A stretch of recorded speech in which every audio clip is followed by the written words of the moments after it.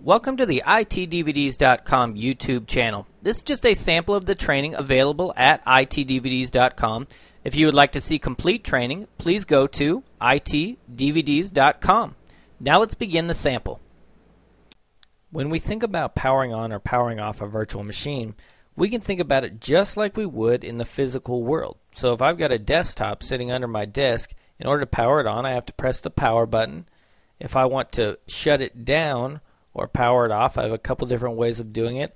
Within the operating system, I can shut it down, or I can press and hold the power button, or I can just pull the plug out completely. Now, obviously, certain methods are better for certain situations. If your operating system is running fine, normally you wouldn't want to press and hold the power button or yank the power cord uh, because it might cause problems with your operating system. Likewise with a virtual machine, so we'd probably want to shut it down gracefully from within the operating system. But what about if it blue screened? Well, we can't really shut it down gracefully, so normally we either hit the power button or we pull the plug. Same goes with a virtual machine. Now, to power a virtual machine on, we can press the play button here and highlight it, or we can actually open the console, and we'll talk about the console a little bit more in depth here in a bit. But we can press the play button from here, the power on button. Go to VM, power, and power it on is another way we can power it on. So we've got multiple ways we can turn on a virtual machine. I'm just going to hit the power on button from the console here. And this is one of the virtual machines we created earlier, so it doesn't have an operating system on it. So it's just going to post and sit there and basically say, I don't have an operating system. Now notice there's a few other buttons here. What looks like a stop button is actually a shutdown guest button. This is the suspend button, which looks like a pause button. And also we have a restart guest button. The restart guest button and the shutdown guest button can only be used when VMware Tools is installed. And we're going to talk about VMware Tools here in a bit. But what they do is they basically gracefully shut down the guest operating system, and this one gracefully reboots the guest operating system. But since this virtual machine does not have an operating system installed or VMware tools, we have to shut it down and power it off. So basically a hard power off. To do that, we'd go to VM, power, power off, or we could actually right click on the virtual machine, go to power, and select power off. So just so we can see what it looks like, I'm going to go to VM, power, power off.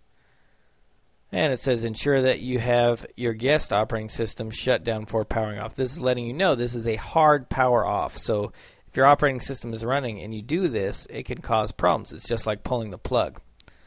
I'll click yes, and it's going to go ahead and shut it down. Let me just power it back up for a second. Now, what about if we want to do a hard reset? So let's say it blue screens, and we want to basically push the power button or pull the plug and put the plug back in and push the power button. So it's a hard reset. So that, that would be if it blue screens or something like this. And notice I got a little uh, bar here that says there are now two active connections. That's because I use the console tab, which we'll see here in a second, uh, to access this virtual machine also. So I'll go ahead and close out. So if I want to perform a hard reset, I just go to VM, Power, and click Reset. Click Yes. So it's basically pushing the power button, making it shut down, and pushing the power button again and firing it up. Now let's take a look at a virtual machine that has VMware tools installed. For example, Desktop 1. I'm just going to open up the console here. Now if I want to gracefully shut down this virtual machine, I can go up here and use the shutdown guest. I'll do that so you can see what it looks like.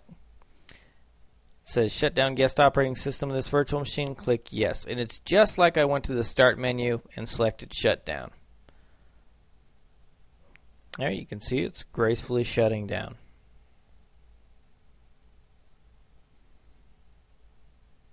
If I want to power it back up, I can just hit the power on button.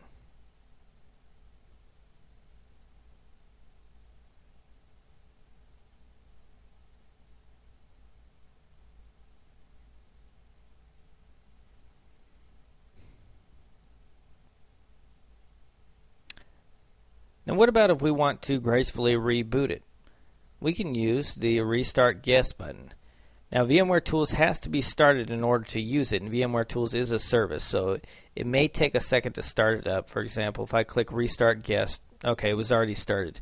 If the VMware Tools wasn't started, it would give me a warning and saying, hey, VMware Tools isn't running.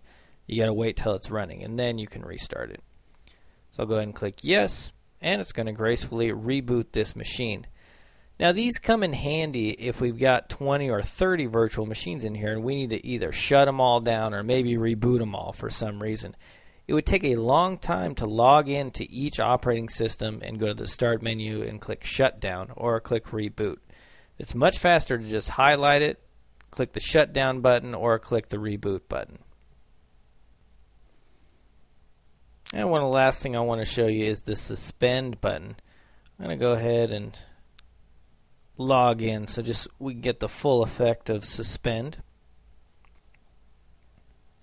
Basically what suspend is going to do is it's going to pause the virtual machine, anything that's in memory, it's going to write it to a file on your data store and then it's not going to use any more resources on your ESX host. It's also not going to be accessible because it's going to be suspended. For example here I'm just going to open up Notepad and type this machine is suspended. So Notepad is in memory right now. It's not uh, a program that's on disk or this file isn't on disk. And I'm going to go up here and press the suspend button. I could also do it from the vSphere client over here or go to VM power and click on suspend. So they all do the same thing. Click yes. And let's take a look at the progress here. It's going to take a couple minutes to suspend it depending on how much memory your virtual machine has because remember it's writing it to disk. Okay, and that virtual machine was successfully suspended. We go ahead and take a look on the host. It's actually not using up any memory or processor. And it's also not accessible. If I wanted to restore this virtual machine to the state it was in when we paused it or suspended it, I'll go ahead and click power on. And there it is. And it may take a couple of minutes in order for it to be functional again because it's got to take what it wrote to disk and put it back into memory. And once it's functional, we can use it just like we left it. The final thing I want to show you is we can actually change what these buttons do. This is the default. For example, this one to restart the guest and this one to shut down the guest. If I go to VM, Edit Settings, I could also right click on it and go to Edit Settings in the vSphere client. Go to Options, select VMware Tools, and over here we can change what these power controls do. Now the virtual machine does have to be shut down in order to do this, so I'll go ahead and click cancel, or at least uh, we have to close the console. I'll just go ahead and right click on server 01, click edit settings, options, go to VMware tools, and here we can change it so that it will power off the uh, virtual machine, so it's a hard power off instead of actually shutting down the guest. And we could change the uh, suspend is the only thing we've got for that button, or reset for this particular button, this reboot button. So that's a way we can customize our controls.